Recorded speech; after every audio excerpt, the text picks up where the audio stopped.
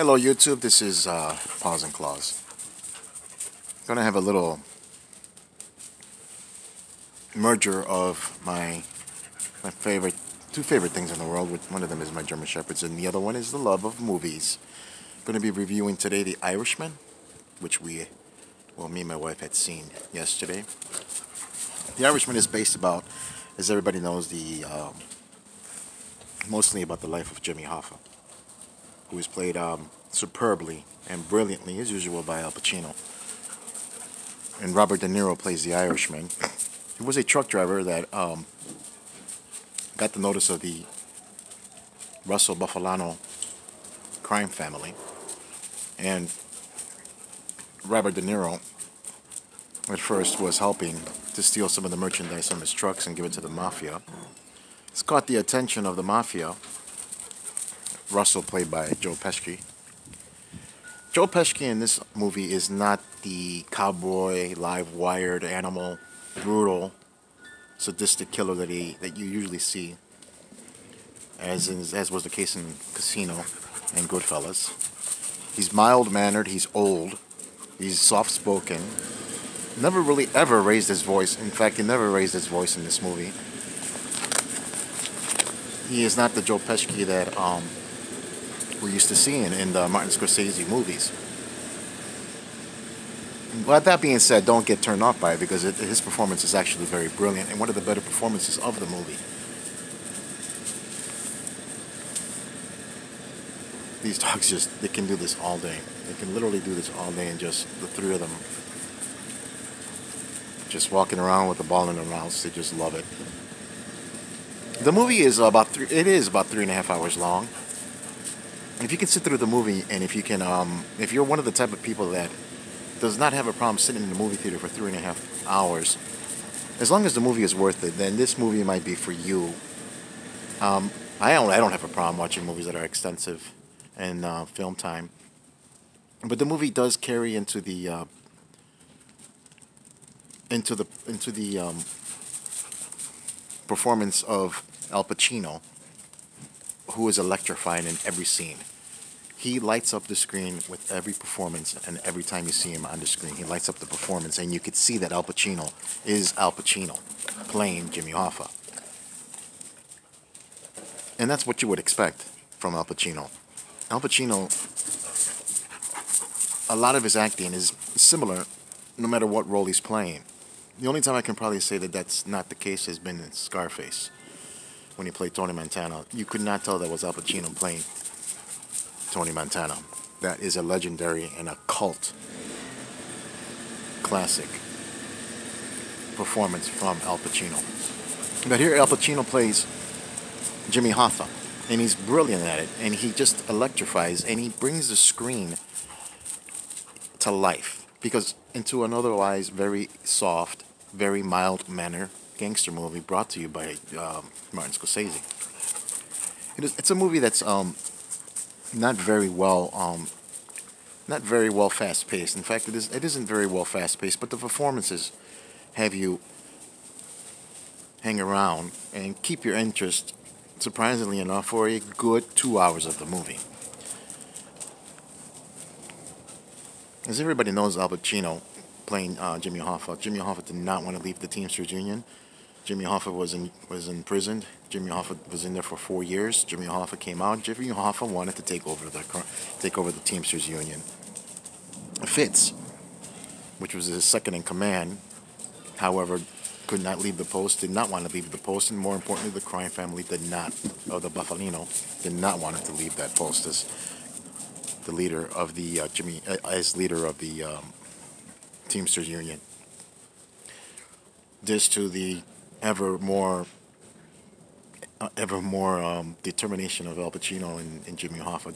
Jimmy Hoffa persistence of not letting go of his empire that he considered that that was everything and everything in his life and he was going to obtain back the helms of power in the Teamsters Union no matter what. The Irishman played by Robert De Niro towards the end of the movie, well actually I would say like three-fourths of the movie, uh, the Irishman, Frank, was his name. Played played again by Robert De Niro. desperately tries to tell him, hey, you know, back off.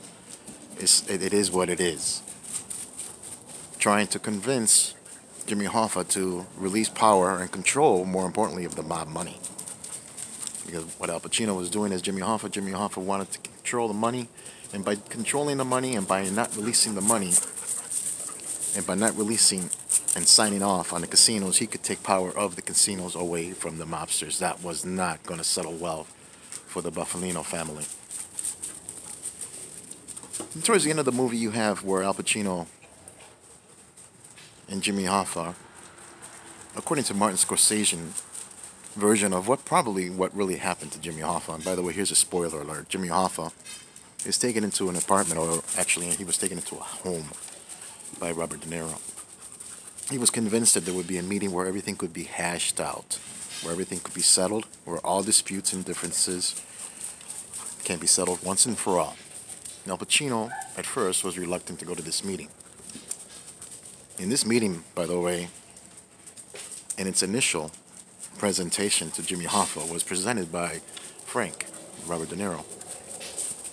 The first time that it was presented to Al Pacino to go to this meeting to try to resolve the issues and the differences of the Teamster Union, Al Pacino backed away from Robert De Niro's request to have a sit down.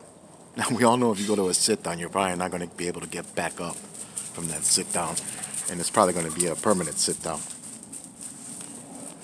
But later on in the movie, Robert De Niro calls Al, calls Jimmy Hoffa and asks him if he has, if he's thought about the about the sit down, and then, to the surprise of Frank, the Irishman, Jimmy Hoffa agrees to have a sit down with the Bufalino family. Frank had no idea that he was the one that was going to take Jimmy Hoffa to the home where there would be the meeting, the alleged supposed meeting with Jimmy Hoffa. It's there where Jimmy Hoffa is taken into the home. Jimmy Hoffa enters the home, and again, here's a spoiler alert. And Jimmy Hoffa enters the home, and as he enters the home, he sees that nobody's there, and he feels, again, one of the things that Jimmy Hoffa hated is that no one was there for the meeting and that he was being stood up. You cannot be late to any of Jimmy Hoffa's meetings. You're late. You're 10 minutes late. You're late. Some of the words and phrases that he uses throughout the movie. Jimmy Hoffa attempts to leave the home, but as he leaves the home and tries to open the front door to exit the home, Frank the Irishman puts two or three bullets into the back of Jimmy Hoffa's head. Jimmy Hoffa falls onto the ground, where, according to a lot of my arm, armchair research, it's probably the way it went down with Jimmy Hoffa. In Detroit, the mob had control of a lot of crematoriums. They had control, they owned them actually. And what they did is that they probably killed Jimmy Hoffa and then took him to a crematory where he was burned. And the movie suggests that that is exactly what took place. The Irishman, again, is about three and a half hours long. The first two hours of the movie is is very subtle, very slow paced, but that doesn't mean that the acting doesn't captivate you, that it doesn't hold your interest throughout the first three quarters of the movie, because it does. The performances by Joe Pesci, again, a very mild manner. They are not the live wire cowboy, out of control performances that you would expect from Joe Pesci from other of Martin Scorsese's movies. This is more of a crime family movie that is more, um, more geriatric. It is, um, the mobsters are old. The pacing of the movie is slow, but very well very well acted by Joe Pesci, Robert De Niro, and Al Pacino. Again, the two biggest performances in this movie were from Al Pacino and Joe Pesci. Robert De Niro is Robert De Niro. Robert De Niro, in his um, killing sprees, not killing sprees, but but in his assassinations, almost seems comical. It's almost as if you're seeing Moe Howard from the Three Stooges carrying on these assassinations the way uh, Robert De Niro played out that those performances where he uh, assassinated individuals that he was ordered to kill. uh, I'm sorry, but that's just the way I took it. It just looked like Moe Howard from the Three Stooges. When you watch the movie, you'll probably agree with me, or you probably won't. Robert De Niro is Robert De Niro. I much more rather enjoy his performances from his earlier movies, Taxi, The Godfather, of course, um, Goodfellas, and other movies too as well. They, they don't necessarily have to be related to crime. But here, Robert De Niro is Robert De Niro. There's nothing really more. There's nothing more that Robert De Niro has given us in a performance that we haven't seen before in, uh, in any of his other movies. Um, the last quarter of the movie, or the last hour of the movie, half hour to 45 minutes of the movie, just entails him getting older, realizing what he's done, and as a result, family members have pulled away from his life permanently. And this has been to his desperate attempts to try to reconcile with his daughter to no avail. It's sad to see that, but it was a little bit dragged on. The movie could have been could have been shaved by at least an hour. Um, would I recommend the movie? I would recommend the movie. Yes, definitely, I would recommend the movie. But I would recommend the movie if you want to sit home, um, take breaks, pause it, grab lunch, sit in your backyard, play with your dogs, and watch it on Netflix because the movie is out on Netflix but it was out very in very limited release. Here in Chicago, it was released and it was released in one in one theater, probably released only in one theater in the whole entire state. It isn't a movie that is has a grand cinematic atmosphere, a, a grand cinematic uh, quality where it, it, it would probably be more appreciated in a cinema. It's a movie that can be just as appreciated at home, especially with what TVs are, what they are today with wide screens, flat screens 46, 51 inches. You can very well enjoy just as well there as you could at Netflix. That was one of my disappointments. I was expecting something a little bit more cinematic, uh, enthralling, something that, that you could only appreciate more in a theater, but really, that doesn't mean the movie wasn't good. Casino and Goodfellas are their own typical movies. One is, is in, in terms of the violence, but here we have a more relaxed, more laid back, more slow-paced movie.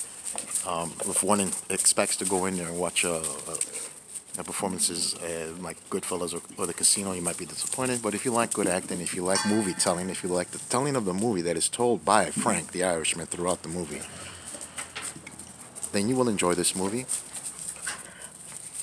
Martin Scorsese seems to have wanted to slow down the pace.